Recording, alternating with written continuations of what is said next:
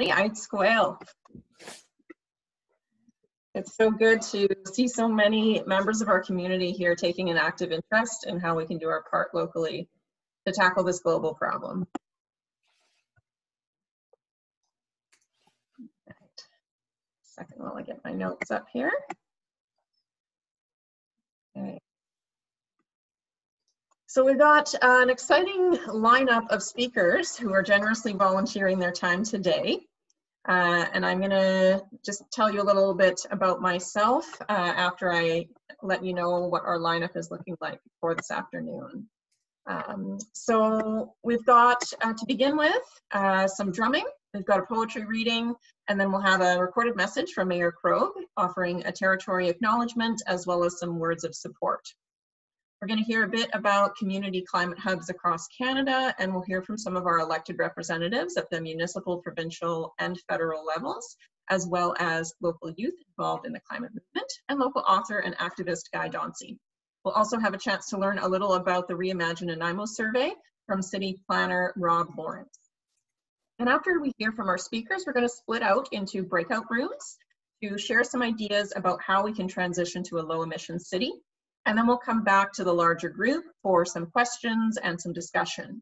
And we're going to close the meeting with another poem read by Nanaimo's Youth Poet Laureate. So just before we get to the speakers, I wanted to let you know a little bit about me. I got concerned about the climate emergency after hearing about the Intergovernmental Panel on Climate Change report in 2018. And so I joined up with Citizens Climate Lobby, which is an international organization that's focused on lobbying for federal level carbon fee and dividend policies. And then this summer, myself and a group of Citizens Climate Lobby members from across BC got together to form the BC Climate Alliance, which is now focused on lobbying the provincial government for stronger carbon pricing, elimination of fossil fuel subsidies, and better forest stewardship. So I think those are both great organizations, but I'm also seeing the need for changes at the municipal level which does have jurisdiction over some important areas like transportation, building bylaws, waste management, and land use planning. And at the same time, working on changes in our own backyard seemed like a great way to bring more people into the climate movement. I heard about the Community Climate Hubs initiative, and I wanted to see if there would be interest in starting one in Nanaimo. So here we are, and it sounds like there is, because there's lots of us here today. So my hope is that this event will be a jumping off point for a coordinated local effort to achieve the 50% reduction in greenhouse gas emissions that scientists say we must achieve in the next 10 years to avert catastrophic consequences. There's an important opportunity to influence the direction of Nanaimo's emissions reduction strategy right now through the Reimagine Nanaimo public engagement questionnaires, which will be closing at the end of November. Please feel free, feel free to use the chat throughout this event to ask questions or share your thoughts. I'll ask that we do keep it respectful and constructive in the chat. Uh, and we may not be able to address all of the questions today, but we are going to save the chat. And so that way we'll be able to capture all of the ideas shared. Um, and if you can just please use the raise your hand button on your Zoom menu if you have a question or comment, um, and we'll do our best to catch those when we get to the discussion time. Um, and just if you can also keep your microphones muted if you're not speaking, that will help to minimize any background noise. So uh, we packed a lot of great speakers into our agenda, and in order to keep things moving along, I'm going to um, kind of keep track of the time for each speaker, and when a speaker has 30 seconds left, I will hold up a sign, and hopefully you'll be able to see me holding that up to say 30 seconds left, and then I'll hold up another sign when your time is up, um, generally, we were kind of maxing out at five minutes per speaker, uh, so then we can keep the event flowing. Okay, so without any further ado, um, unless we'll just take a moment in case there's anything coming up in the chat in terms of any technical issues um, or problems that we need to look at before we actually launch into the program. Uh, we have a welcome from Gail Morton in Nuu-chah-nulth territory in Port Alberni. Great. Um, um, is Lawrence Larry, in terms of unmuting, I don't see a Lawrence to unmute, I just see a Larry. Uh, I think Hello? I saw, oh, hi, are you there?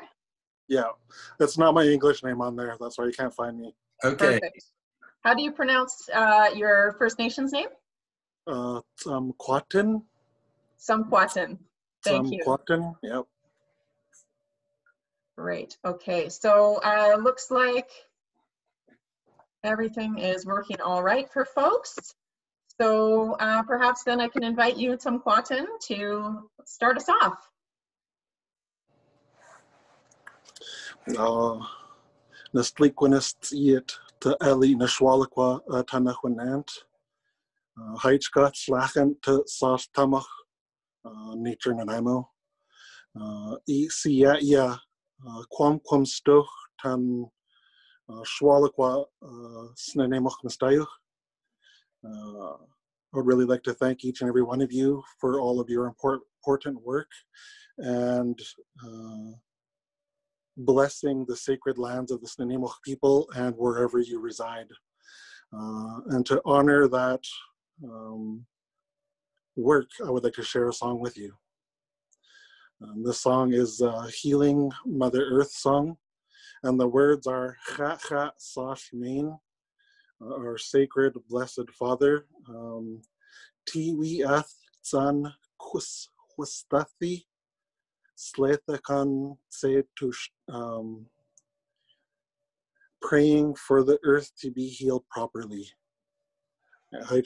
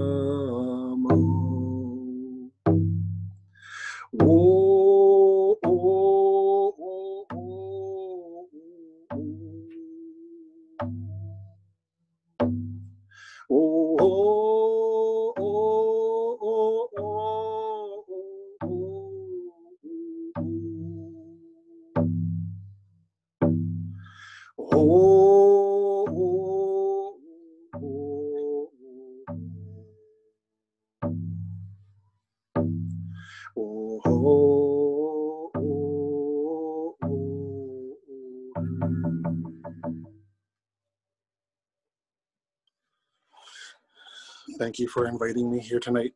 It was a great honor and privilege to be amongst such beautiful people and a part of some sacred work. And I've called upon the ancestors to be with us and open up our hearts and minds and our spirits for the good work to take place. Uh.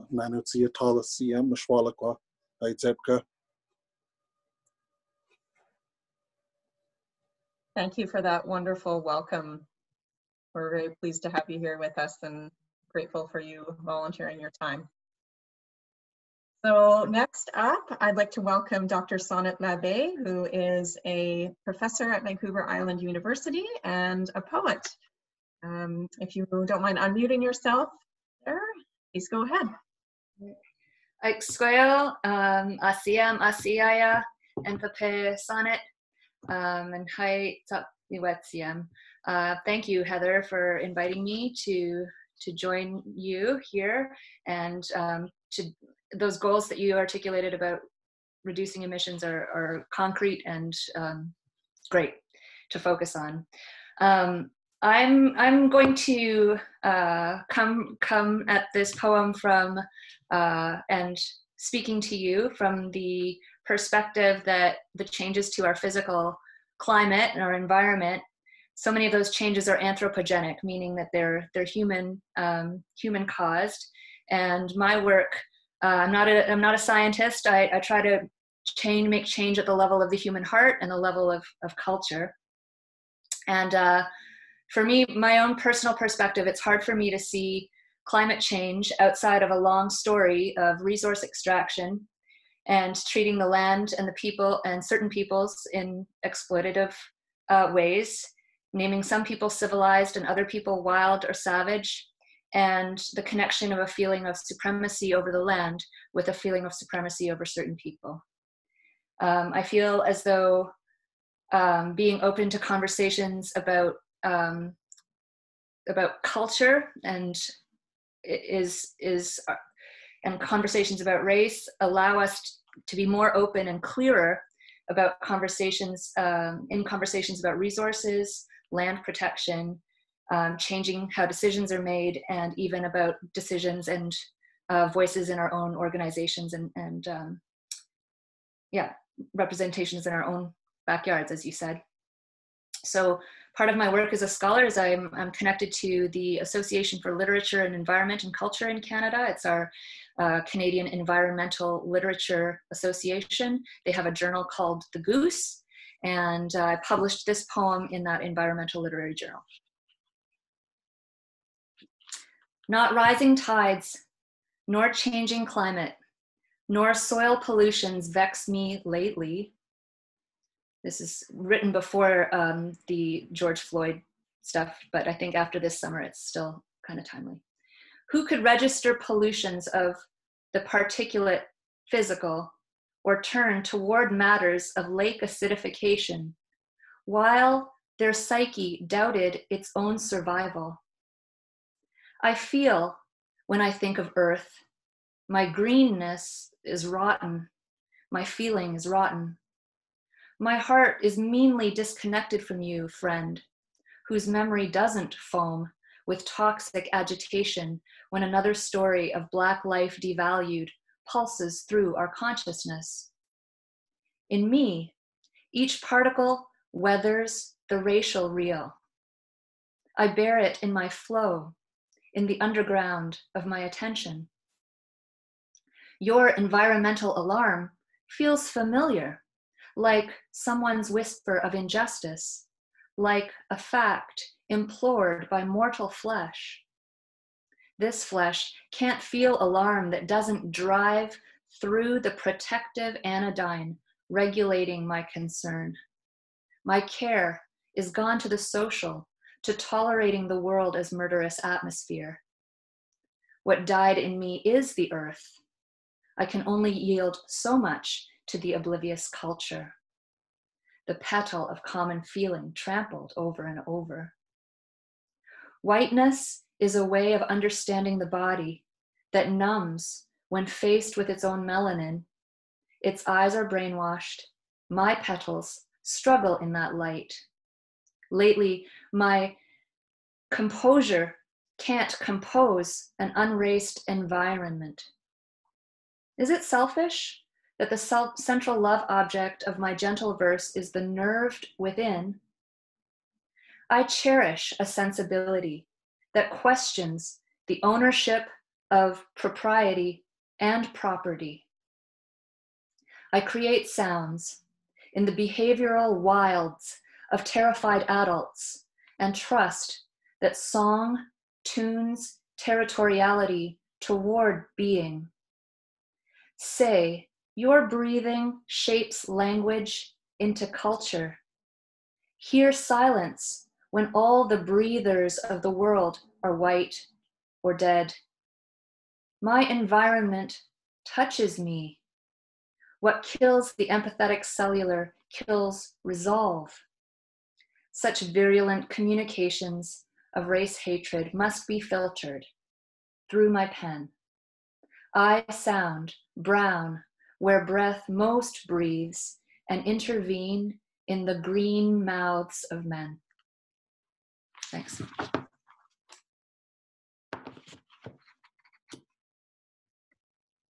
Oh, thank you so much.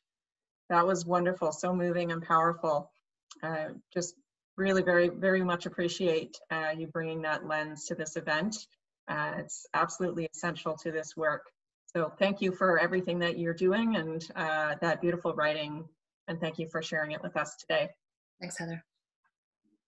So next I'd like to share with everyone a recorded welcome from Mayor Leonard Krog of Nanaimo.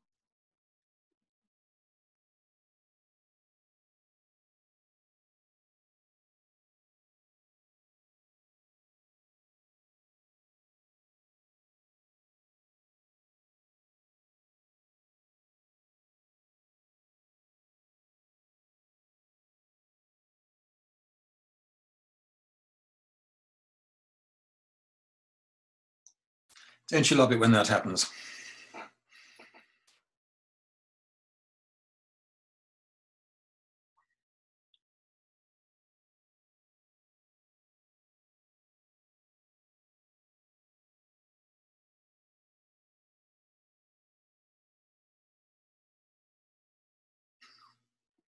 Bear with me just a moment. I'm going to see if a refresh does the trick on this.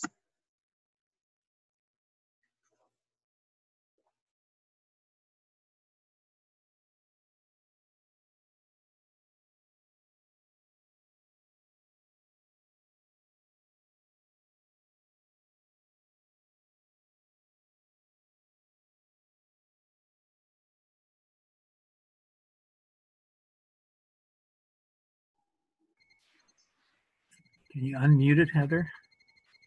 He was there.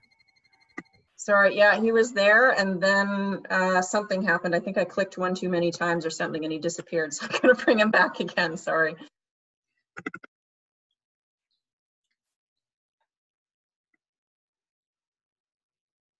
What's an alternative to, to democracy? You just unclick someone and they're gone.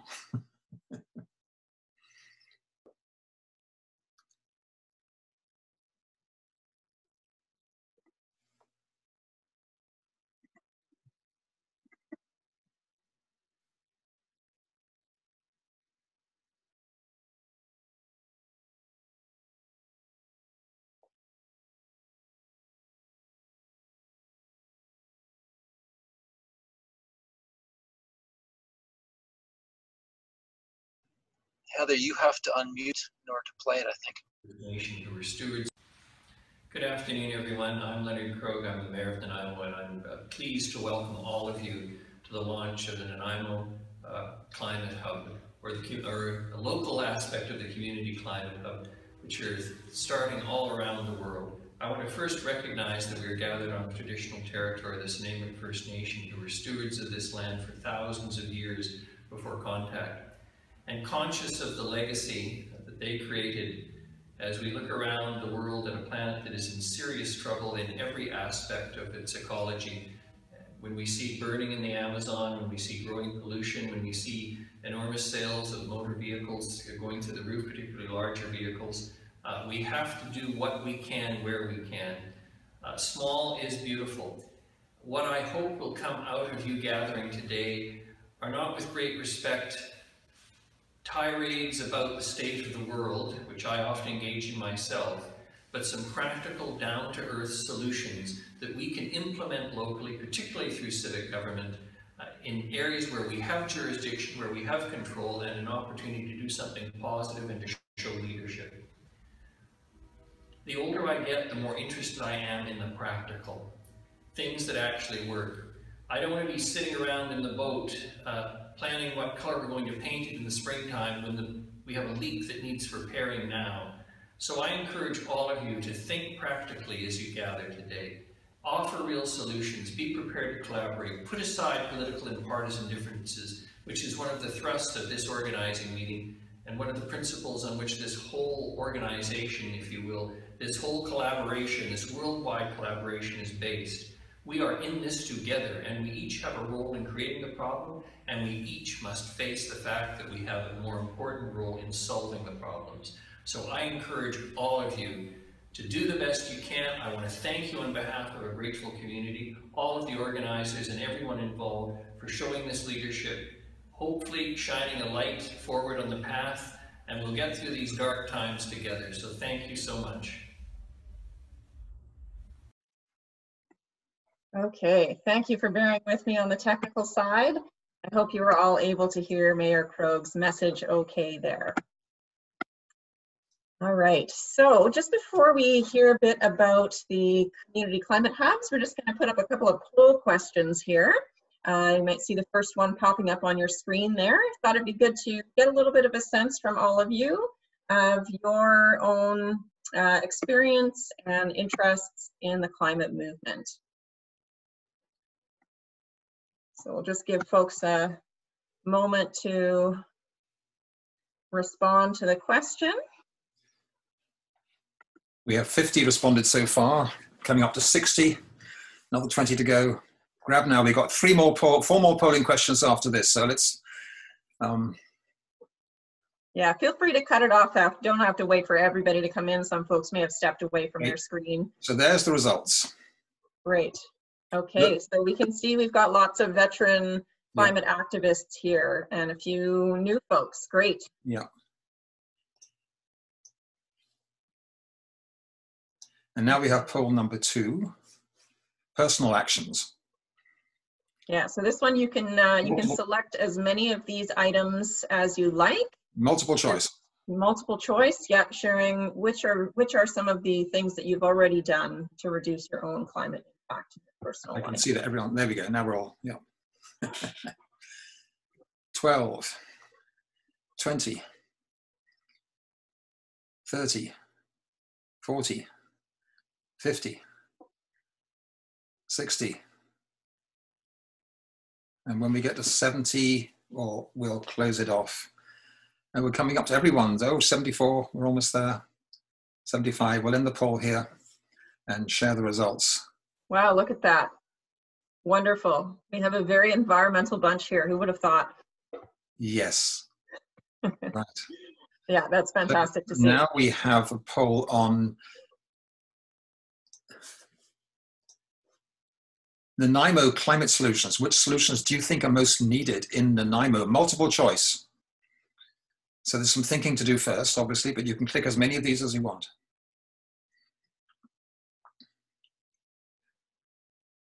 One, two, ten, twenty, forty, fifty, sixty. Oh, you're good, you folks. 70 and 75. And we're up to 80. End the poll. Share the results. Okay, so our most popular ones there, uh, safe separated cycling and walking trails, uh, citizen engagement to help Yeah. residents reduce their pollution. Those look like the top two Yeah. choices there. So happy to see citizen engagement. And we have, I think, on relaunch. Hang on, I don't want to continue. I want to end that poll and go to, oh, yeah, simple ones. Where do you live? This one should be easy. This should be very quick. yep, 20, 30, 40, 50. Everyone knows they where they live. No, when we're done, we're in there. 75, and we can look like that. Up to 89, we're all. Seven didn't answer. We'll end the poll. So, Okay, great. Yeah, so good to see a couple of folks, couple of folks outside the regional district. so we're very strongly City and I know. I love that. Yes. And finally, we have um, relaunch poll five. Hang on, I've got to get this right. Yeah, your age. This should be a quick one, an easy one. Come on, the under 20s. Come on, come on, come on. oh, that's 80. It's all of us. End the poll. Share the results. Okay, Great. All right. Well, I'm glad we've got at least some from each category there. Yeah. Welcome to uh, those young and old. Good to see everybody here. okay. All right. Thank you for sharing the polls there, Guy. Uh, so next up, I'm going to invite Matthew Chapman to speak. As Climate Hub Project Manager at Climate Reality Canada and co-founder of the Montreal Climate Coalition, Matthew is devoted to developing local leaders for a sustainable economy. So Matthew, if you'd like to unmute yourself and go ahead, please do. Thank you very much, Heather and Guy, um, for the invitation. Climate Reality, I'd just like to mention, is um, commonly known uh, he, here in commonly known as Montreal. Um, it is an island in the St. Lawrence River that has long served as a site of meeting and exchange amongst Indigenous peoples, including the Haudenosaunee and Anishinaabe nations. And we uh, recognize and respect uh, these nations and their as the traditional stewards of the land and waters on which we um, here in Montreal uh, enjoy and share with them.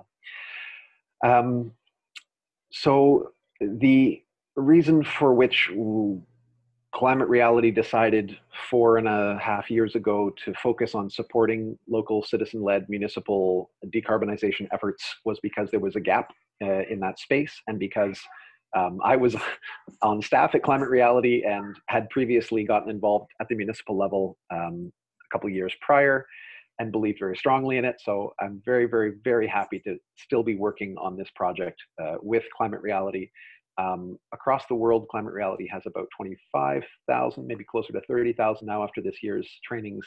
Uh, people who've gone through a training with um, Al Gore about climate solutions and um, uh, the, the crisis and its solutions, essentially.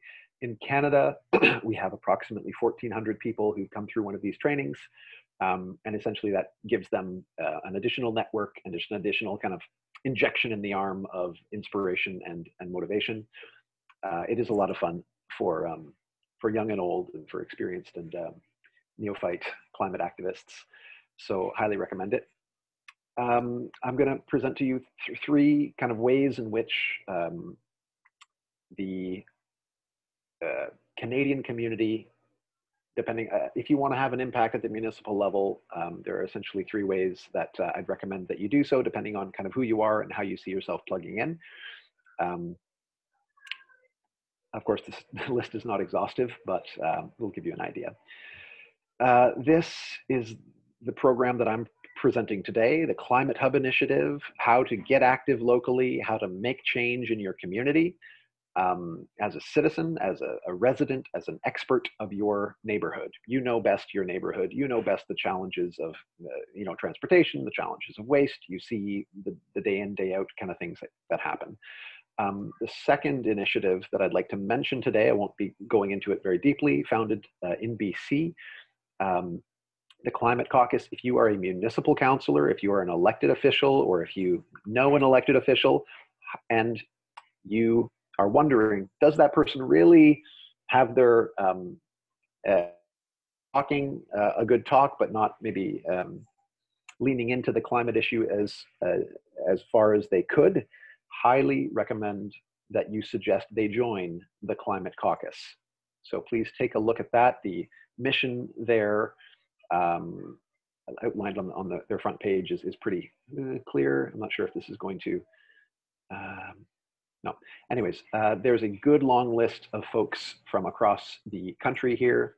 And I will quickly see, aha, we have Ben, who's already a member there in Nanaimo, also Tyler, also Aaron, and so there you have it. If there are any other uh, municipal councillors in the Nanaimo region that you'd uh, like to see on this list, this network of councillors from across the country helps uh, each other uh, with best practices, sharing uh, good ideas. Finally, if you're more of a, a technical um, policy wonk engineer, and or if you're already working within the city infrastructure trying to make change, um, and your interest is really the nitty gritty of, okay, how do we make this work? Um, the Urban Sustainability Directors Network is the, the place for you. So I'm going to operate with the last 60 seconds that I have on the assumption that most of us in the room are, are not elected officials, nor do we work for the city. It could be that uh, you, you'll find those useful to suggest to other people, but I really want to quickly outline the resources we have available to you. Um, our objective is to support you in the rapid decarbonization of your um, municipality. Uh, there's a network of groups taking shape uh, across the country. One of our key uh, initiatives is the National Climate League, helping us benchmark cities, helping you guys decide uh, what to measure locally, uh, encouraging you to do so on an annual basis so that you can hold your elected officials to account, and then being able to compare those results across municipalities. Um, and that uh, those standings are available for download here at climatehub.ca. Another facet of our uh, support takes the shape of webinars, uh, which there are now over 100 episodes to browse there, specific to the Canadian context and to solutions here. Uh, the hub blog, very similarly, many um, uh, pieces there to explore about local solutions. We have assembled a toolkit, uh, including the things that I've just mentioned and others. And finally, probably the most important part is the network of regional organizers that exists to support your work. So again, if you um, head to climatehub.ca, you'll have the opportunity to uh, send these people an email. Um, in your region, it would be Jessica McElroy, um, based in North Vancouver. So thank you very much for the opportunity to speak to you and uh, have a great meeting. I will have to put a baby to bed shortly, but I will, I'm really, really happy to be here and gonna listen in for another few minutes. Thanks very much, Matthew. Excellent. Okay. Uh, so next I'd like to invite Paul Manly, who is the Member of Parliament for Nanaimo Ladysmith, to say a few words. Paul, please go ahead. All right, thank you so much, Heather. Um, and thank you to the Nanaimo Climate Hub and the organizers for putting this together and for working on this issue. We are here, I'm here in the traditional territory of the Snuneymuxw First Nation, and uh, as Leonard Krog said, the Mayor Krog said that we need to honor what they have uh, done being stewards of this land. And I think that one of the key things we need to work on in this community is protecting the biodiversity uh, in, in our region. We are in an area that uh, was handed over as part of the E&N land grants. And when you look at the Nanaimo River watershed, 75 uh, or 750 square kilometers, 56 kilometer uh, river, uh, only 0.6 square kilometers are in park in that river and uh, 10.4 square kilometers are in conservation area, mostly at the top of Mount Benson. And I think with respect to uh, Snuneymuxw, Stz'uminus, Snuneymuxw, we need to work on protecting the biodiversity in this region and I intend to do that through Indigenous protected conservation areas uh, when I spoke with Mosaic about this, they and I asked them about parks on the river. They said that nobody had ever approached them about parks on the river, unlike the Cowichan River. It's important to take local action and and to uh, take action uh, at the municipal level, but we also need to recognize that a lot of things are are done at a national level, and collective action and holding government and industry to account is also very important. And I don't want people to let go of that that piece. Uh, as a member of parliament, I'm on the federal climate caucus working across party lines on these issues.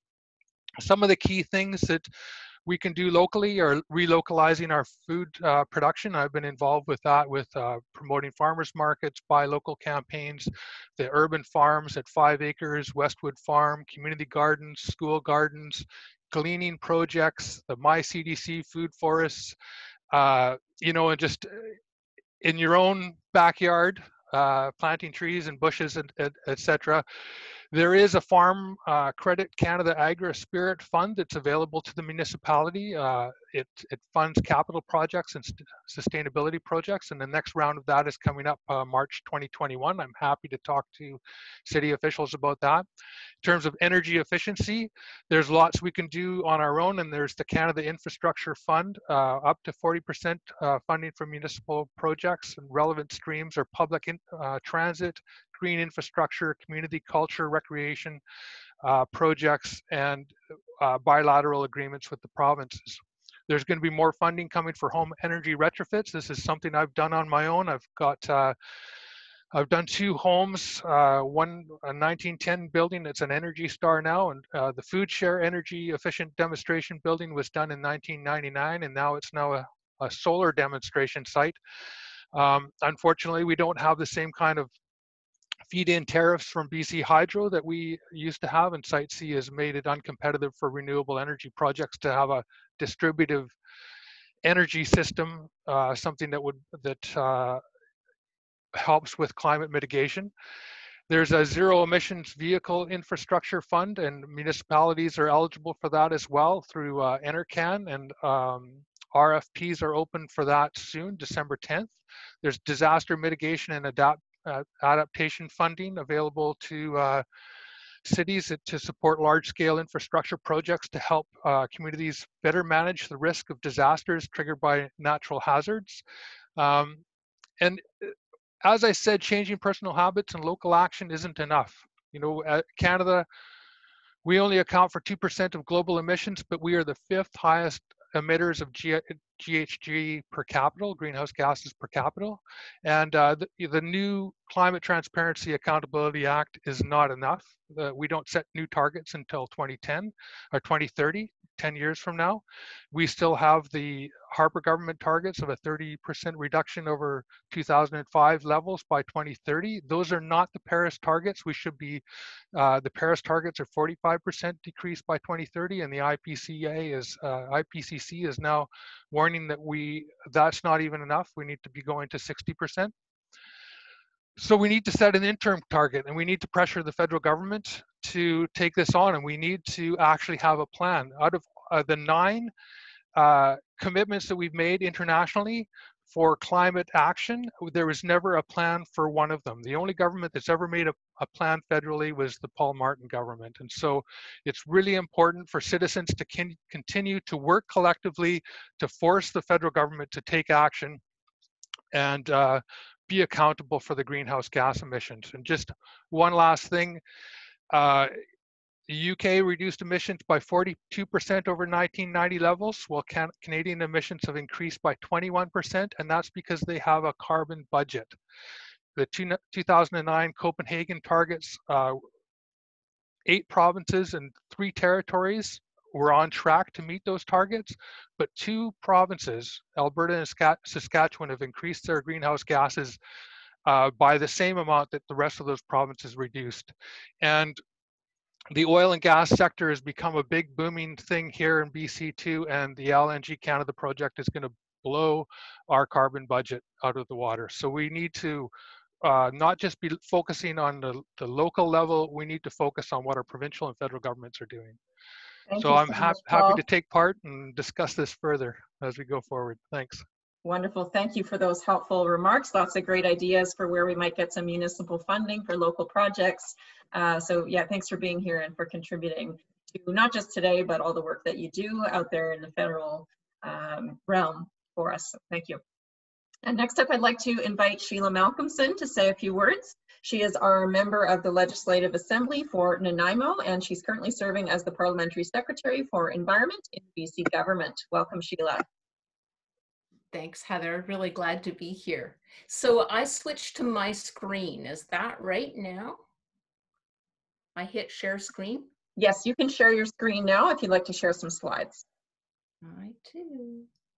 All right. So want to uh, give thanks to the organizers for bringing us together. I acknowledge that I'm talking with you from Nanaimo territory and really honored to be uh, Nanaimo's link into the BC legislature.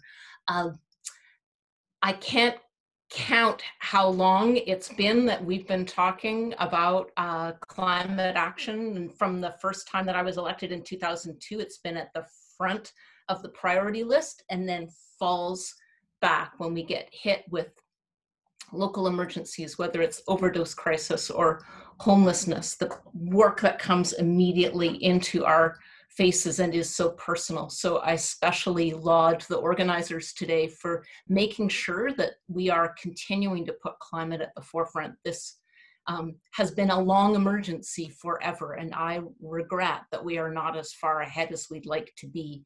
Um, British Columbia, on a national level, has um, been lauded for the work that it's been doing at a policy level. Uh, for the second year in a row, we're ahead of the rest of the country on uh, net zero energy ready building codes, on EV registrations, industrial energy management, low carbon heating. I definitely give credit to the uh, BC Liberal government at the very beginning of their term, you know, 18 years ago, set some good work that was leading the province um, at, and in leading the country in many ways.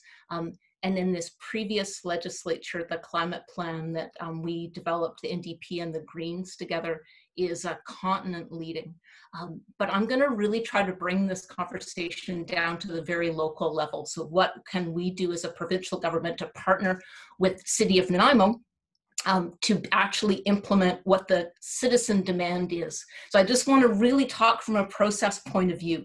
Um, if you want, like what Courtenay got, uh, this really awesome um, mixed, you know, dealing as you can see with a storm water runoff, uh, a true active transportation uh, path. This took a lot of partnership, federal gas tax money, provincial money, a city of Courtenay, um, coming together. This is the kind of infrastructure that we want to see. It needs to be municipally led. So for this kind of micro level, which is truly where we get to, to walk our talk, uh, the citizens come together, they get progressive counselors that go to city council um, to say these are what our priorities are, and then they come to me, I go to the legislature and advocate. Our government is investing in infrastructure like and in people like has never happened in the history of the province, but this is our time. It's so important to make sure that that infrastructure has that people and climate lens. Um, so that's Courtenay there. Um, this is the city of Nanaimo version that's kind of underway right now, both provincially funded. This is still at the um, at the um, thinking phase, and I know that my city friends are going to talk more about this. But this is another example of provincial money um, that was requested by the city, that was pushed by the people through a public process. The province funds it. It's my honor to advocate for stuff like that. This is Metral Drive. Um, electric vehicle network, um, we've with the regional district of Nanaimo. So in that case, it was the RDN that we partnered with another 10 EV charging um, sites uh, announced in September. Um, this has been going on through the whole three and a half years that we've been in government. Um, also legislating uh, electric vehicle sales. They're already 9% of BC sales, which is fantastic, partly because of the incentives that are out there that a lot of you advocated for. But we've now legislated you can't sell an electric vehicle in the year um, you, you, have you can only sell electric vehicles in the year 2050.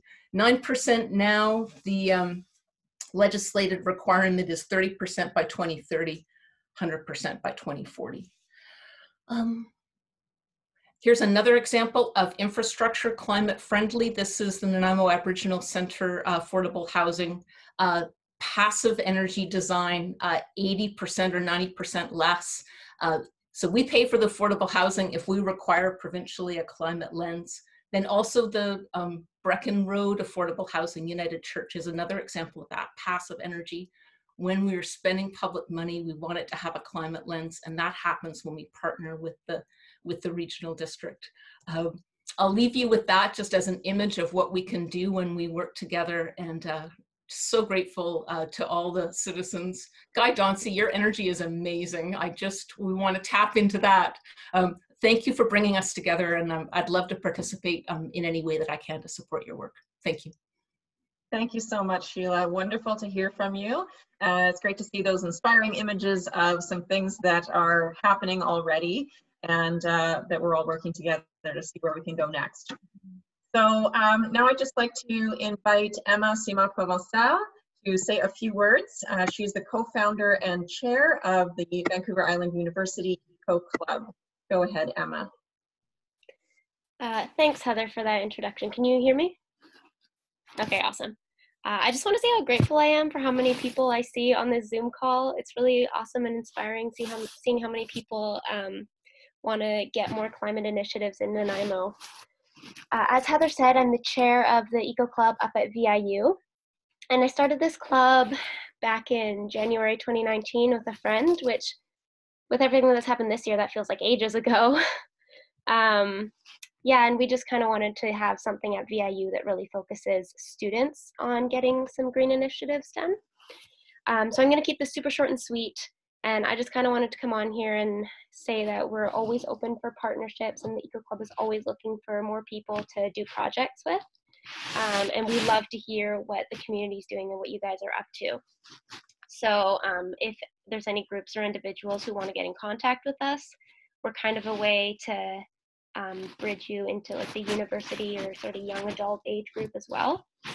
Um, so if you wanted to contact us, uh, we have a Facebook and an Instagram. It's at VIU Eco Club, or we also have an email. I'll put that stuff in the chat, but you can also just Google us. I'm pretty sure our social medias are somewhere on there.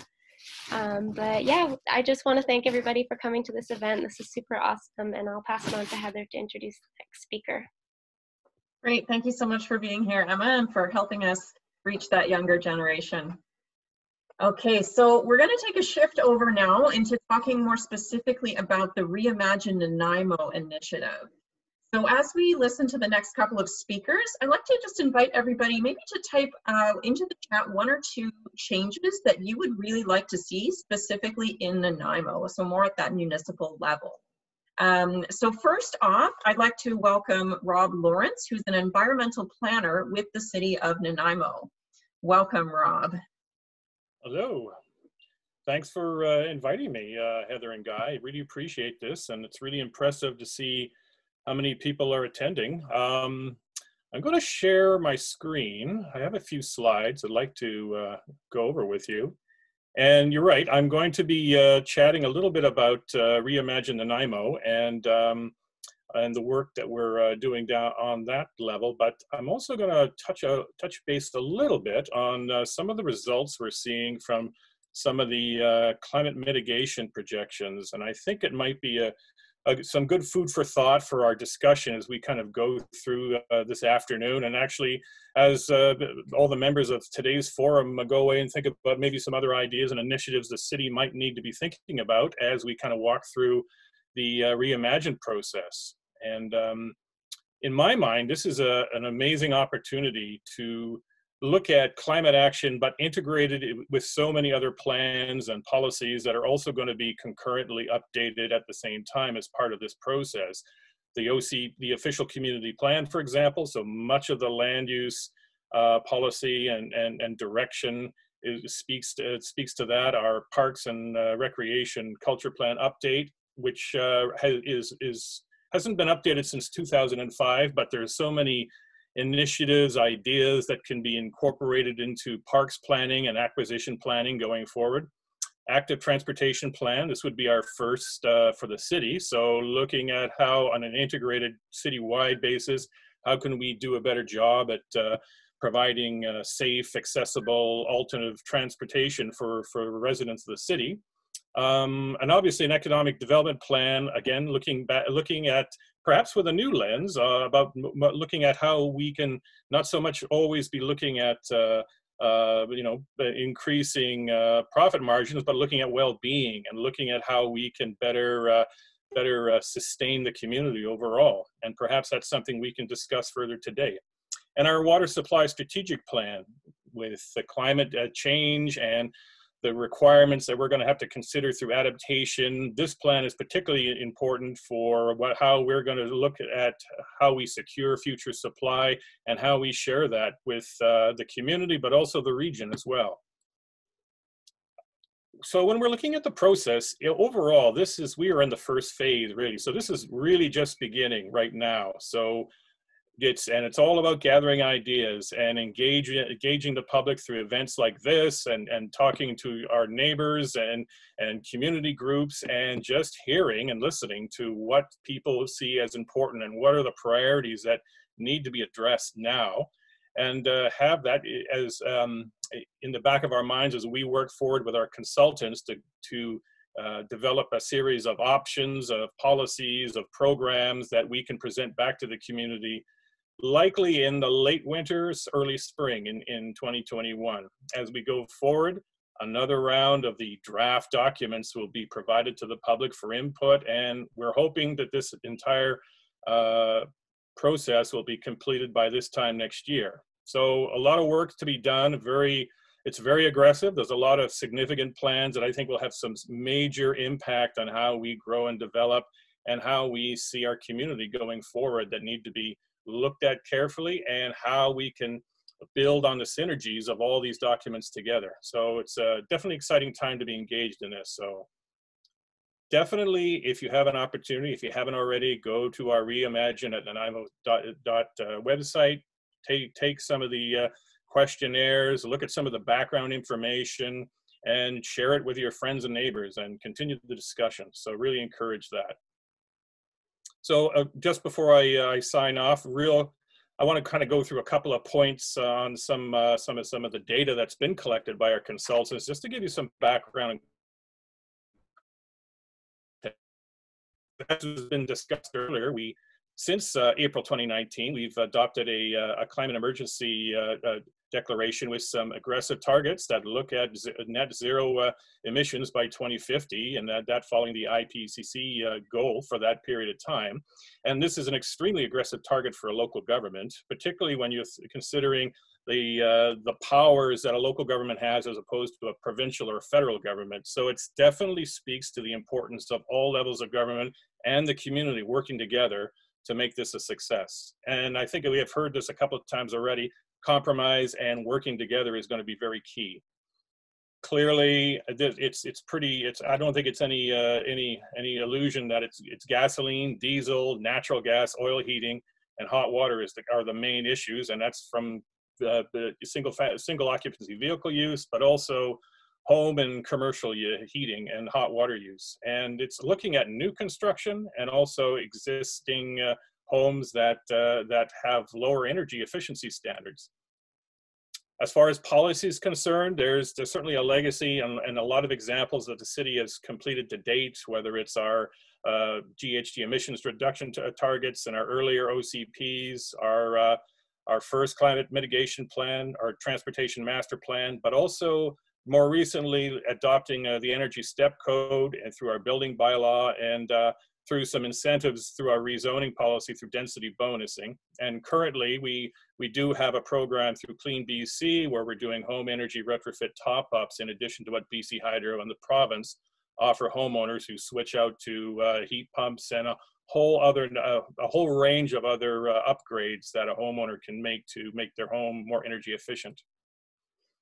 But I think the the reality check is when we look at is when we look at our emissions levels, and um, well, uh, when comparing between 2010 and 2017, we are seeing that trend continue, regardless of all the policies and targets that the city has adopted. We are still rising, and I think.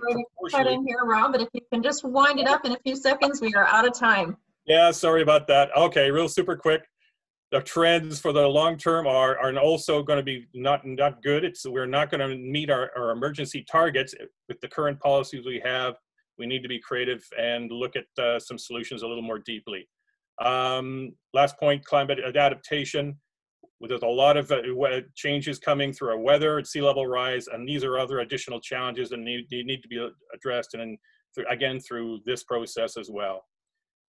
Anyway, sorry I took too long, but uh, that gives you a very high level overview. Thank you. Yes, thank you. And I know it's a tall order getting everybody to cram their, you know, career work into just five short minutes. So um, appreciate the overview there and a bit of an introduction into the uh, reimagined sort of public engagement questionnaire process.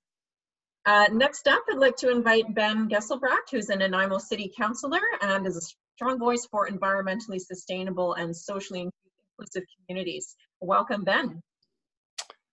Good afternoon, everyone. Um, thank you for having me uh, come speak today, uh, speaking uh, on the Snuneymuxw territory. Um, it's really grateful to see the, the turnout today uh, and the, the grassroots organizing the Nanaimo Climate Action Hub. Uh, hubs are nodes of collaboration, and I'm grateful to see uh, the large number of organizations that are focused on climate action as sponsors of this event. Um, there, there is real strength in numbers. Uh, my hope uh, is that the city of Nanaimo and our regional district are seen as collaborators and uh, most importantly um, as enablers. Um, and that's enablers of, of community grassroots action um, in what I think is the most important task uh, that uh, humanity has in front of it. And that's rebuilding human settlements that can operate within the means of, of the planet. We definitely have to double down here in Nanaimo uh, towards this vision of a, of a thriving community um, that respects the well-being of all people and the, the health of the whole planet. And, and we definitely have our work uh, cut out for us. Uh, Rob uh, pointed uh, out that you know 10 years ago we set uh, to have our emissions 33% below our 2000 levels by 2020, and it's now 2020, and we're actually 18% higher. Uh, of, of, of our emissions. And uh, we've actually, our emissions have grown quicker than our population, and, and that is in large part because we're switching our homes from a renewable uh, energy source of hydro to natural gas. Uh, so the, the major uh, direct source of our emissions are um, from buildings and transportation. And, and what that means is that we really need to focus our policies on switching our fuel sources um, and, and decreasing uh, demands what uh, you know a lot of work that i'm focused on is uh, noticing that our emissions calculations don't really capture um, uh, the the carbon footprint that's embodied uh, in uh, that's embodied carbon in the production transportation um, and manufacturing of goods food and packaging. And so there's an epa study that found that 37% of greenhouse gases came from the provision um, use of goods, another 12% from the provision of food, and 1% from infrastructure. So 50% of the greenhouse gases come from our, our use of, of goods, uh, services, and food. Um, and um, so that really makes uh, policies around zero waste, circular economy, waste reduction very important. And the city of Amsterdam has really recognized this. They figured that the greenhouse gas associated with that is about 66%, and their circular Amsterdam uh, vision hopes to reduce that by two thirds by their the greenhouse gas emissions by 2050. And so we, we do have similar policies that we're building here, the regional district, uh, a 90% diversion from landfill and, and, and also looking to have um, mandatory source separation for everybody for our organics and waste. Um, protecting our natural assets also is a really important um, item like our streams, rivers, lakes, and forest lands um, and that green infrastructure, uh, one, is a lot less carbon intensive than the gray infrastructure to accomplish that, those tasks. Um, but also it's our, our natural carbon sequestration. And so it's really important that we strengthen our policies in that. So, you know, we are uh, mobilizing heavily at the City of Nanaimo and Regional District um, to support our community to take more responsibilities for its emissions. Um, we're, we're actively in the process of updating our, our climate action plans, both at the district and the city. And right now, it's a really important time uh, for the community to mobilize and demand strong, ambitious action um, from, from local government. And so, uh, you know, as elected official that believes strongly about climate action, I really depend on the community to, to be loud, especially in under important decisions. We've got a budget coming up where there's going to be decisions on hiring a, a manager for sustainability and community emissions, a more investment in active transportation, um, more more purchasing and protection of parks, and uh, we need to hear that it's important to the community. Uh, also, uh, you know, action at the end of the day, it happens at the ground level. It's, it's all about changing habits. So changing our, our purchasing habits, building more localized supply chains, changing the way that we transport around our, our, our distances to work, um, and supporting each other and, making the right choices. And, and when we're experimenting and problem solving at the grassroots level when we come up to situations where there's no way unless we get higher higher order help from the from the province or the federal government or the local government you know to, because we nowhere can we get a product that we need that's not made out of plastic or we don't have you know access to the right transportation. That's where our experimenting and our problem solving, solving provides valuable information of what we need. And, and that's what's really important for me as elected officials to hear from the community and I really want to see Nanaimo be extremely loud collective advocate at the provincial and federal level on building this new green circular economy of the future. So um, lots of exciting things. Thank you very much for your time. And uh, I look forward to uh, collaborating in, the action of this hub. Thanks. Thank you so much, Ben. And thank you for all the wonderful work that you're doing. Um, really, really can't agree with you more that we just very much need lots of voices in Nanaimo um, to all, all be encouraging this uh, good direction so we can do this important and yet difficult work that's ahead of us. So uh, at this point, I would like to invite Guy Dauncey to say a few words. Guy is an author, an activist, and the founder of the BC Sustainable Energy Association, and he is one of the co-organizers of today's event.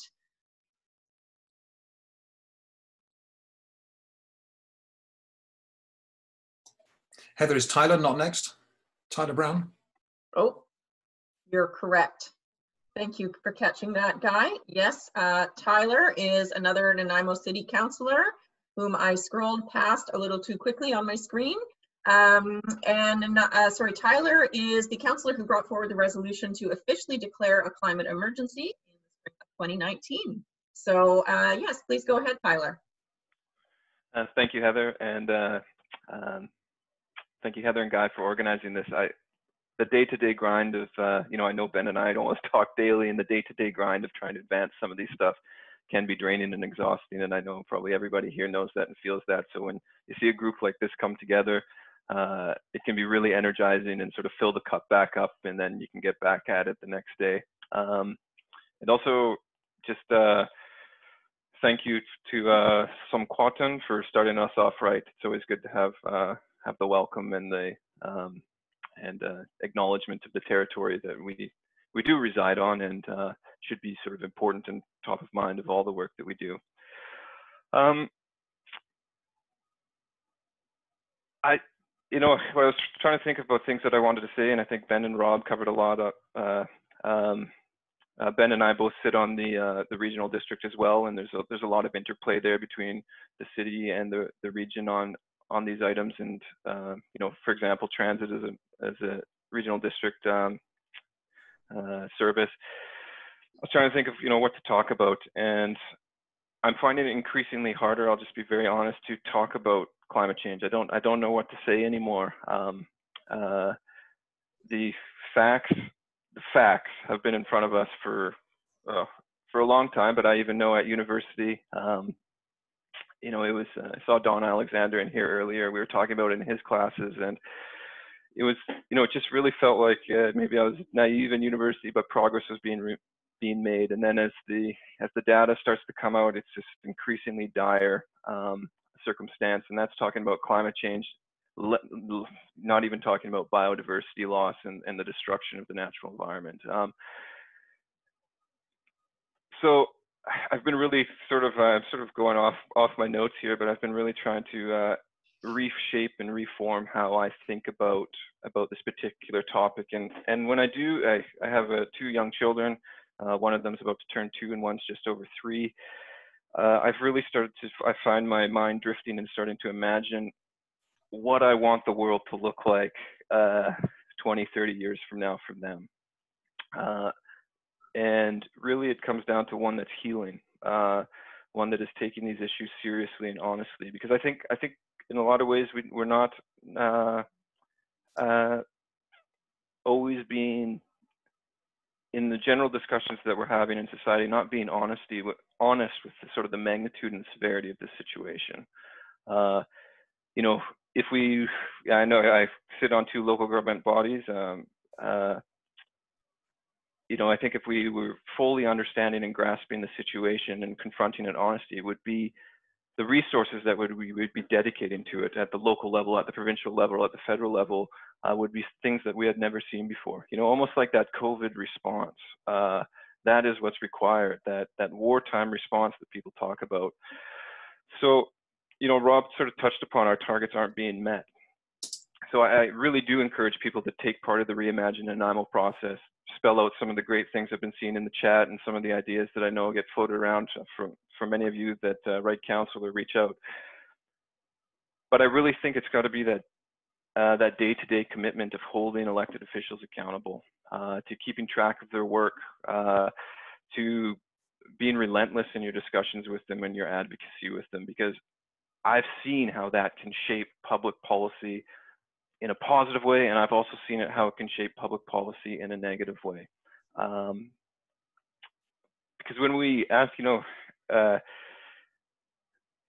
speaking about university was the first time that I sort of heard uh, or was exposed to some of the ancient Greek thinkers, and uh, at that time I, I, realized, hey, economy and ecology actually have the same, they have the same root, uh, which is that eco and that's home, and economy is the management of the home. And too often we're focused on the economy, but I don't think by any metric you could say we've managed our home well, which is what sort of economy talks about. So there's so much we could be doing and we could be doing it now not in 2030 not in 2050 you know planning is great but it needs we need action now. And you know increased transit service um, i saw the electric buses and i think that would be awesome and and we're going to be getting to electric buses but like even just getting more people on cng buses or diesel buses is so much more progress than having so many people driving around all that active transportation stuff. It's great. We're making progress. We're doing more now than ever, but it's not enough. It needs to be accelerated uh, by a significant amount.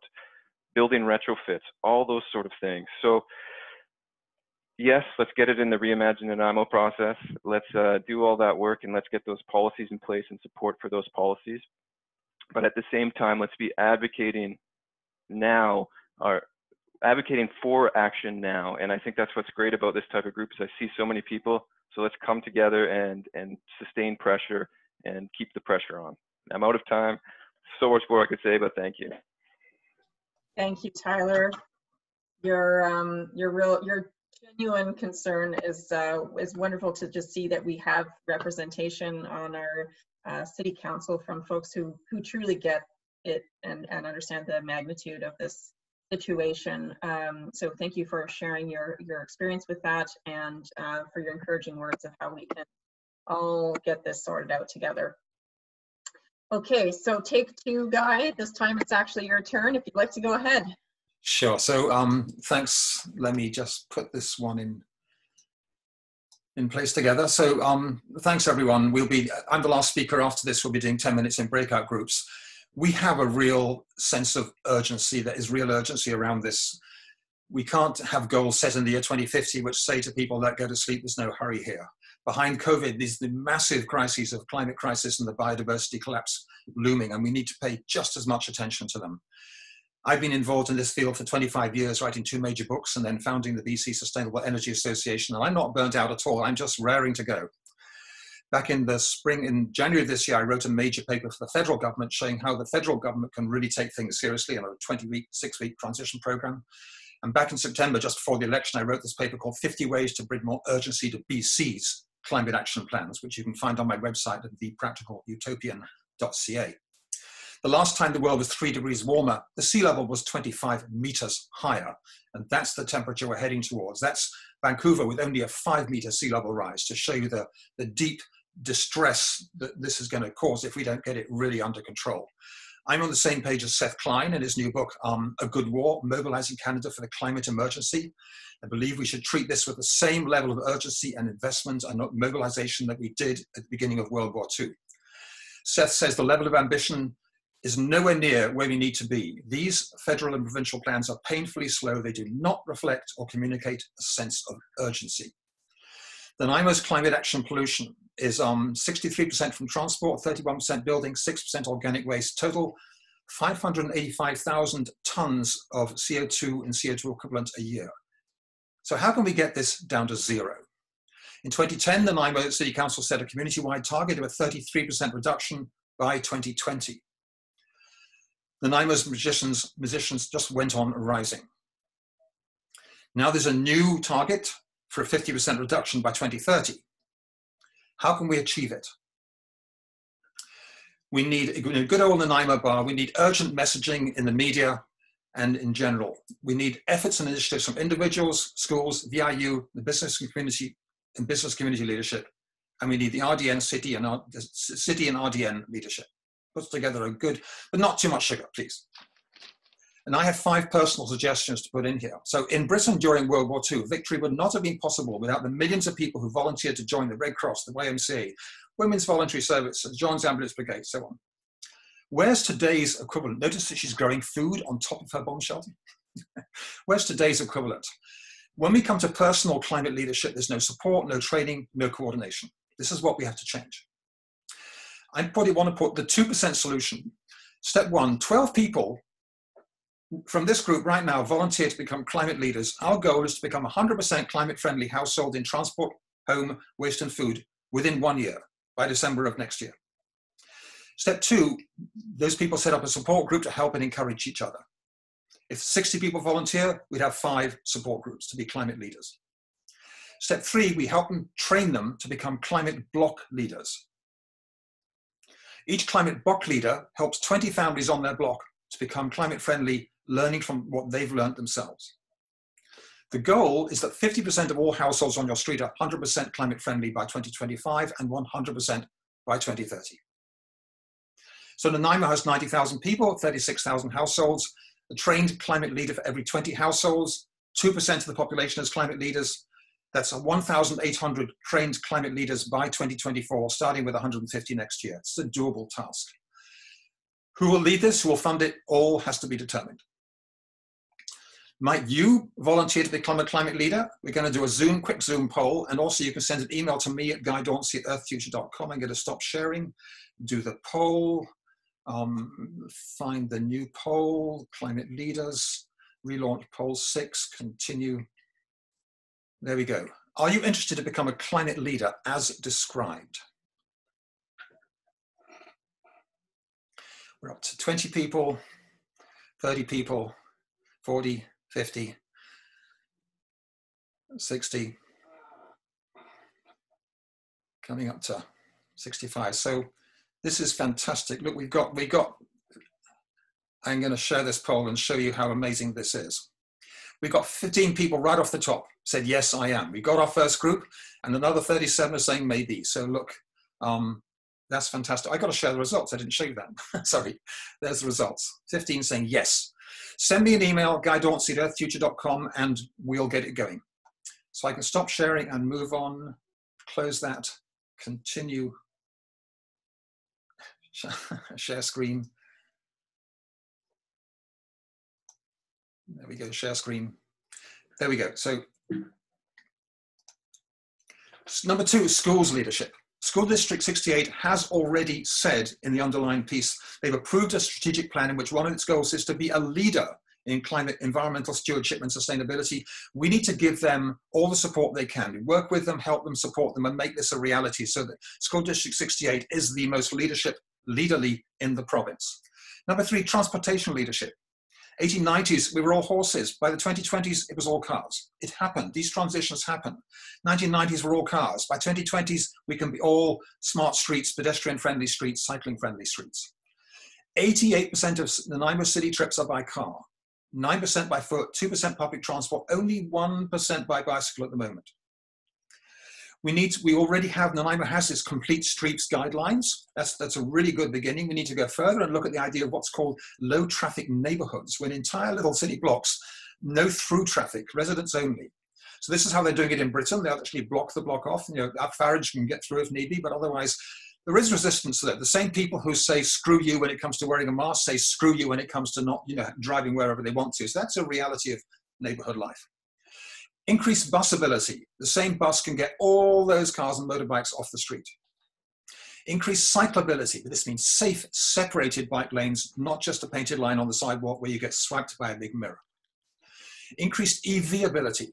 By 2025, an EV with 400 kilometers range will cost the same as a conventional car. In China, you can buy a car like that right now for $4,000. Increased um, electric charging infrastructure from the Mid-Island um, Electric Vehicle Association. That's their logo. So we need to campaign for that as well. Number four, green buildings. Our buildings produce 180,000 tons a year. It's oil furnaces and gas heaters that we need to shut down and really put them out of the picture. We need a massive building retrofit program in partnership with the provincial government and the federal government. We need to require that all new buildings are passive house designed by 2023, not by 2032 that the step code is far too slow. It allows laziness at every level. And we need business leadership. There's where I get my haircuts. You'll all recognize that place. Um, we get businesses signing up for Climate Smart, becoming part of the Vancouver Island Green Business Collective and stuff like that. And business leadership for a donut economy, thinking in a bigger scale, and for a, sort of a recircular economy instead of a linear or just a recycling economy. We need a positive vision of a sustainable future. My time's up. It's a climate emergency. Some people say, are you pessimistic or optimistic? If you're watching the Canucks play, yeah, you're pessimistic or optimistic. If you're a player, you're either determined or defeated. As far as I'm concerned, that's the only game in town. We just need to be determined. We need to dream it, plan it, do it. That's my website.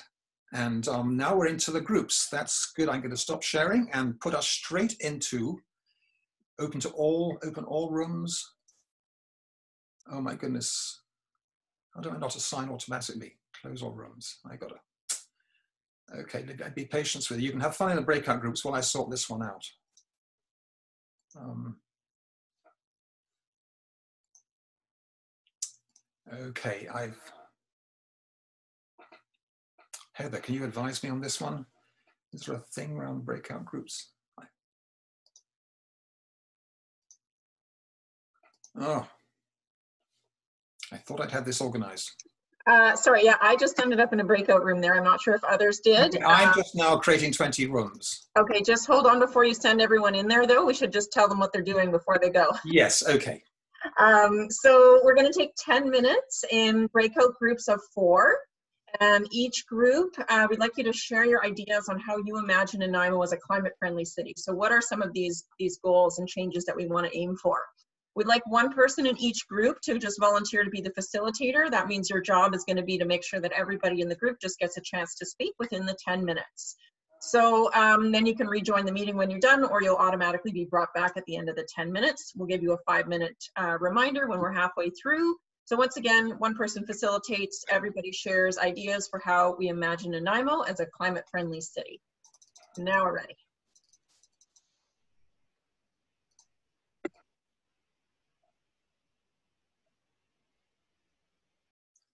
And Heather, can you confirm this is working okay at your end?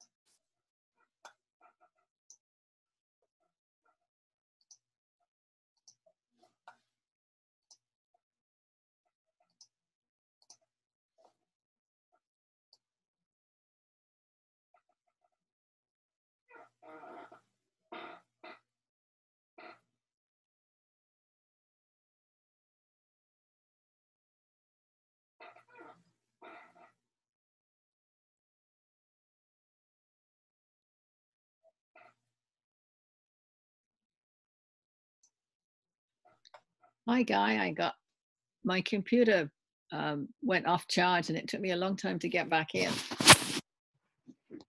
Hmm. How did you, how are you not in a group? You're not in a breakout group? No, no, because it just as you were talking, it just went black. Hey, So um, I just wonder if I can assign you. Let me see. Um, I missed what you were saying. oh, Half of it anyway, but well, it'll be, it's all been recorded. Um, I'm, you're in a group now.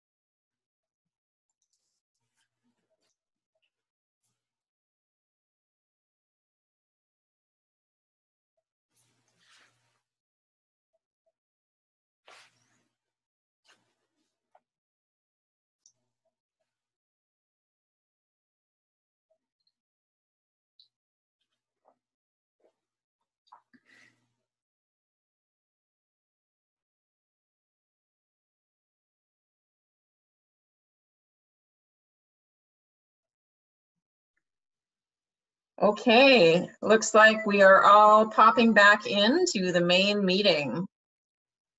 Okay, so um, at this point, I'm wondering if anyone would like to share back to the group uh, a couple of key ideas that came out of that. Uh, so you're welcome to type those into the chat if you like, or um, if you want to just do the hand raise function or wave at me, um, and I'll try to call out people uh, by name and you can unmute yourself and speak. Okay, Rob Lawrance, I see your hand there. Yeah, thank you. Um, it's only a couple of points, but it was it was it was a couple of good ones too about um, really looking at focusing on um, completing some uh, really key key uh, projects like uh, like complete streets and getting a, a complete trail system not in a in a kind of a piecemeal fashion, but from from, from key destinations, maybe even uh, you know neighborhood hubs, for example, as opposed to doing it in, in pieces, which is done by development and uh, as a way of kind of paying for the for the upgrades. But I think what I was hearing was it's uh, for many it doesn't make a lot of sense. If you're going to do it, just be committed and finish it from one one destination to another within the city. And I and that's a good that's a good that's a good thought. Uh, and, and, also some concerns and, and about the uh, the switch between aspiration and implementation. How do you kind of uh, keep that momentum going and and without uh, running out of energy? And uh, but I think uh, what I heard in Guy's talk about the climate leaders, maybe on a neighborhood scale, might be a solution to that. So we we, we spoke about that a little bit as well. Anyway, those are a couple of points. Okay, and uh, Sonnet raised her hand as well. Please go ahead, Sonnet. Hi. Um, in our group, I'll lower my hand.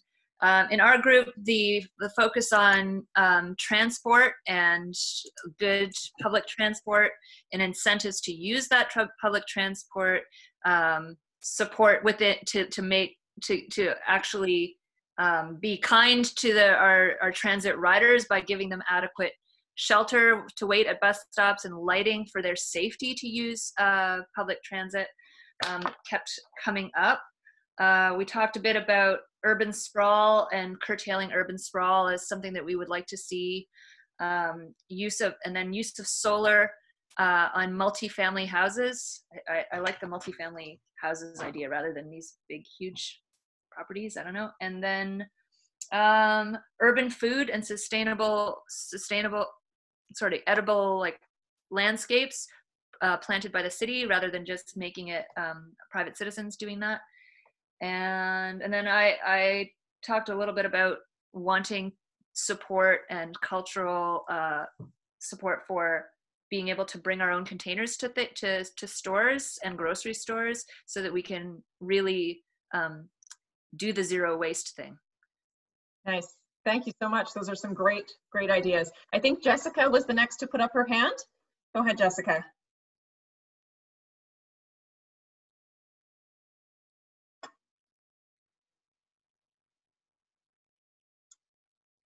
We cannot hear you, Jessica, if you are speaking. She's unmuted, so I don't know where Jessica's gone. Maybe move on. Okay, yeah, we'll come back to you, Jessica. Uh, next was Brian Short. Brian, if you want to go ahead. Hi, yes. Uh, well, a lot of uh, discussion in our group was, uh, I'll try and get some of the new ideas that we came up with. Um, one would be the uh, increasing organic diversion from the landfill, uh, because that's something that's fairly easy to do, and it's we're doing we do much better at it. Uh, audit of the recycling uh, that's going out of the city to see where it's going, to make sure that it is recycled, and then report back to the people of the city to uh, tell them it's not really getting recycled, it's going into garbage, and maybe we can reduce our uh, our um, waste at that point so that um, um, better insulation, etc., on buildings and increasing the subsidies for that. And one new one was that VIU is not very sustainable at this point, and they don't have a lot of policies in place that will support sustainability, and that we could pressure VIU as a public institution to do better. Great, thank you, Brian. Uh, I'll come back to Jessica for a moment to see if your audio is working there. We cannot hear you. Must be maybe a problem with your microphone. Might have to put your thoughts into the chat for us. One more time. Oh, now we can hear you. Okay.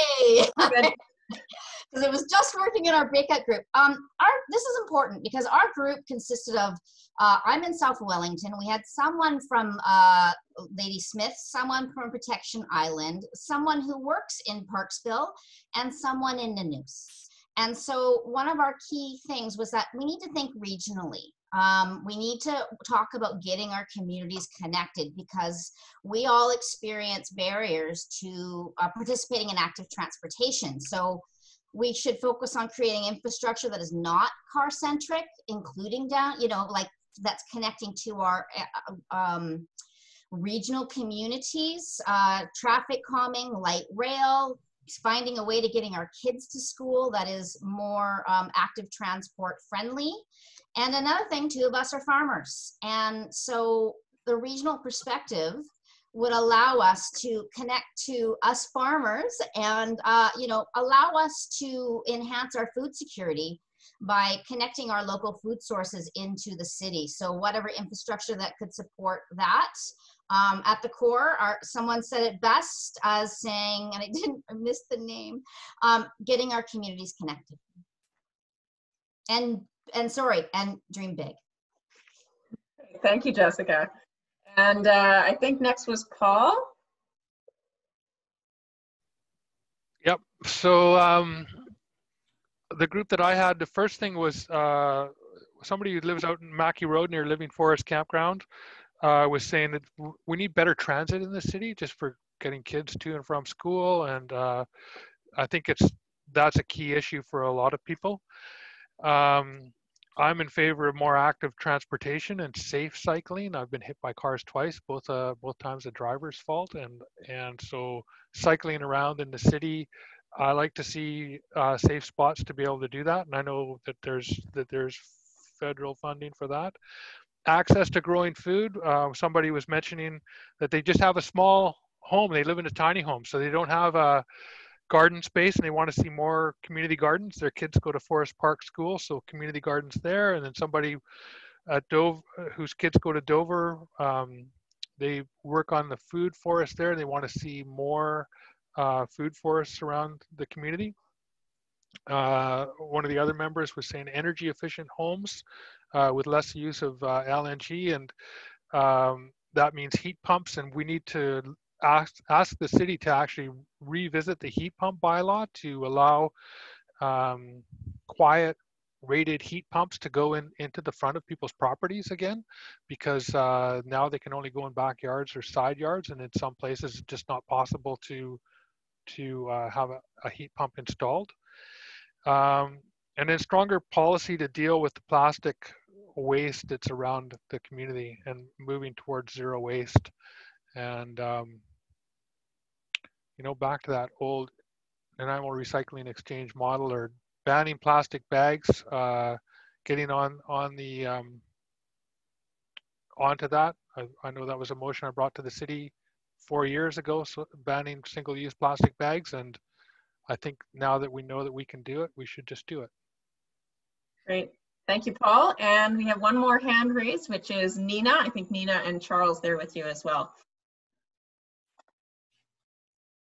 Yeah, um, so I, I just was going to say that in our group, although I'm realizing you were the spokesperson actually, um, but we talked a lot about um, the local food issue and how important that is to, to the sort of 100 mile diet or to, to eat locally and, and yeah, that you can do it yourself to some degree too, all of those things. And the making, when you look at housing, that if you, um, it was brought up by Wally, how um, he was told by a biologist that you need to look at first what's going on with the the natural setting there you know putting the biodiversity and, and the wild wilderness first. And that was also mentioned by susanna and you know i felt strongly about it. I think all of us did. So it was really neat. We very much overlapped on our themes. Yeah. thank you nina. Uh, okay, so um, at this point, I, I, know we wanted to do our best to get to some questions from the group that maybe have been put in the chat uh, throughout this event. Um, we were wanting to uh, probably try and wrap things up in the next 15 minutes or so. People are going to be wanting to get into their dinners, um, but maybe just one or two questions. Uh, Ellen, I'll ask Laura, who's been keeping an eye on the chat for us, uh, if you maybe have picked out one or two uh, questions that we might put to some of our speakers just before we do the wrap up. For sure. Um, I don't want to put anyone on the spot, but some of the questions that have come up, um, one of them specifically um, is to the city of um, to city of Nanaimo. Um, and it's just regarding sea level rise scenarios that were apparently on the website um, at some point. if it's possible to have those, to have the sea level rise scenarios made available to the public again. So um, not nothing to necessarily have to answer right now, but if that information is available, um, you could link it in the I- chat. I can tell you it's on the city webpage and yeah, I can send a link. The maps and the study are available. Great. Well, that was easy. Thanks, Rob. And is there Um, one more question we might get to? Yeah, so another question was specifically for Sheila Malcolmson, and it was just regarding um, the what the province's plans are regarding the carbon tax, and will it be um, will it be increased? Yeah, another, um, here's another COVID hit. Um, so it was on track for, it's already been increased, um, while we've been in government, was on track for being increased. Very strong lobby at an affordability level to delay the increase. So super if folks want to let me know where that sits in their level of priorities. Uh, Sheila.malcolmson.mla at leg.bc.ca. I understand that after two weeks of that email, the whole province's legislative email has been down for two weeks. I hear today it's back. Um, and apologies if you've written to me and I you just got to bounce back. Everybody is experiencing it. Um, so yeah, it's great. I would love to be an advocate for this. Um, we've got a $12 billion hit to the provincial treasury and all kinds of people losing their livelihood. So we got a strong lobby to delay the increase of the carbon tax, but let me know if you feel differently and I'll represent that. Thank you. That's wonderful. And just a little tip for anyone who might want to follow up on Sheila's suggestion to email her. Uh, we can always suggest that we have a fully transparent and fully returned to the citizens kind of a model um, for our carbon pricing increase so that every penny of that increased um, carbon fee would be returned back to households in BC, meaning that it would actually not negatively affect and would positively affect most people's bottom line. Um, so I'm just going to throw that in there. Guy, you wanted to say something about that? Well, no, I wanted to make sure before we finish this that we have time for people to discuss what do they want the Climate Action Hub to do and are people willing to join the core group that's running it? We need about, you know, 10, 12 people to join our core group. There's just five of us at the moment. And is it worth having a three minute breakout group just to discuss what people think the Climate Action Hub should focus on? Heather, Heather, is there is there time for me to just say three very quick suggestions that our group had? Um, sure, let's hear. Okay, one was uh, trying to find a way for the city to discourage people from switching from electrical to natural gas. And um, there's a lot of that happening right now. And also um, um, was suggested that we figure a way to to how how to how to bring in more individuals, new individuals, not the usual 80 people that are active all the time in this, but how do we engage the rest of the community? Um, because 80% likely think climate change is real, but don't really under, know what they can do. And the second one was um, actually um, free free bus trans free transportation for people, and also converting the Centennial Building at Bevan for a hub for local food distribution, a combination of food share, Island Roots, permanent, you know, more permanent um, place there, like two or three times a week, and training training place for for people who are would-be farmers. So thank you. Sorry. Um, yeah, I wonder, rather than coordinating breakout rooms again, I wonder if we might just sort of take a moment to all reflect on the, those sort of two questions that Guy brought up that I think are really important for us to get to before we close the meeting. Um, the first question being, are you in? Would you like to be involved in actually setting up this new climate action hub organization? Uh, you know, do you want to be part of the team that figures out what's the structure, what's the goals, what's the mission, how are we going to run this thing? Um, so if that's you, if you think you do want to be part of that, I would uh, invite you to just put your name in the chat and that will give us a cue that we can uh, reach out to you directly. We've got people's email address from the registration. So if we've got your name, we know you want to do it, we'll reach out to you. Um, so you can put that in the chat uh, or send an, an, email to us to let us know. Uh, yeah, Guy, go ahead. Yeah, this is separate from the, climate, the personal climate leadership initiative that I put out there. So this is about organizing the entire hub for the whole city or the whole region. And Gail Morton saying, what requirements do you have for becoming part of this? The requirements are you, do you enjoy working in a committee? That you you you believe that in the fifth law of sustainability that it's not if it's not fun it's not sustainable. That you're willing to put a year's work in, sort of meeting with a group of us to sort of really get some substantial results and find ways to engage as many people as possible. What else do you want to add to that, Heather? Requirements for belonging. Uh, yeah, I mean, I think that all sounds really good to me. Um, solution focused approach, shall we say, where we're working towards actually where can we go from here? Yeah, um, being, positive, being positive, being about partnership, being about solutions, not about being whining and moaning and groaning. yeah, yeah. And so uh, just to, to get to Paul's other point there, uh, sorry, to Guy's other point, I've got too many names on my screen, um, is we'd, we'd like to just get a few thoughts on maybe what would be some good first initiatives if we get this climate hub going and we want to really do a push for some specific concrete meaningful changes at the municipal level. Um, feel free to throw your thoughts in there. I've, I've heard some good ones kind of coming from all of this discussion in terms of you know local food initiatives uh, you know free bus uh, passes, all these different kinds of ideas that are coming in here. So um, if folks want to just put in the chat um, any thoughts on, okay, what would be a great starting point of a doable, achievable, uh, specific focused goal? Uh, love to hear them there. And of course, we're going to uh, capture all of the ideas that were shared in the chat throughout this event, and we'll have a read through them afterwards and make sure we kind of compile together all the great thoughts that have been put out there already. Yeah, we got good ideas coming in there. Yeah. Okay. So um, after this event, I hope everybody's feeling really inspired to submit your feedback to the city. Those questionnaires that are open to the public are going to be closing on November 30th.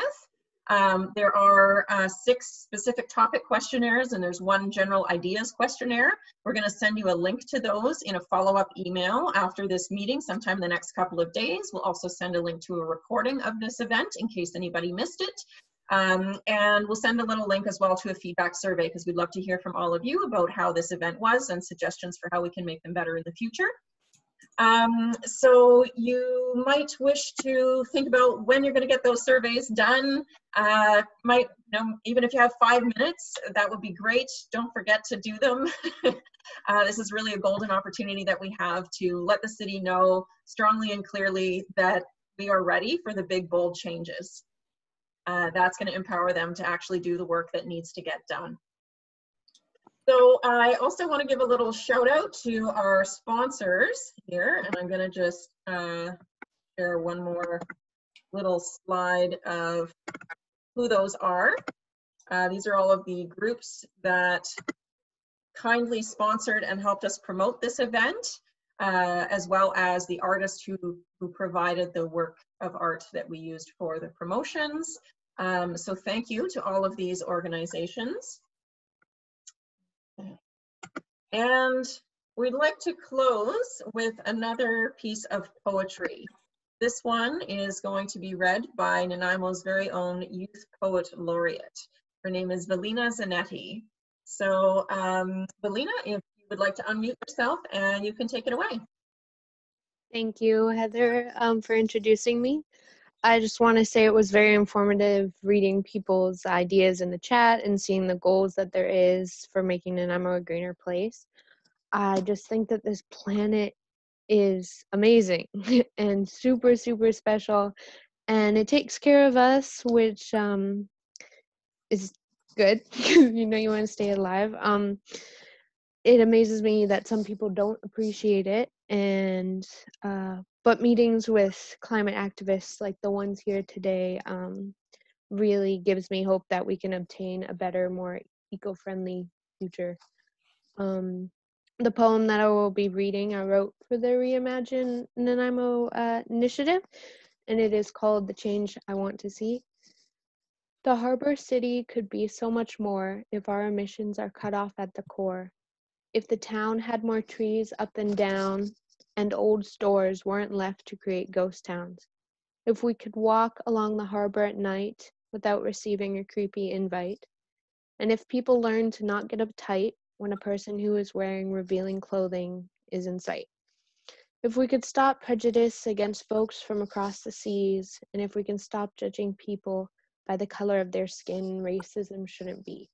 If we could see homelessness as a broken system's greed, funding could be moved to help these humans shine and succeed.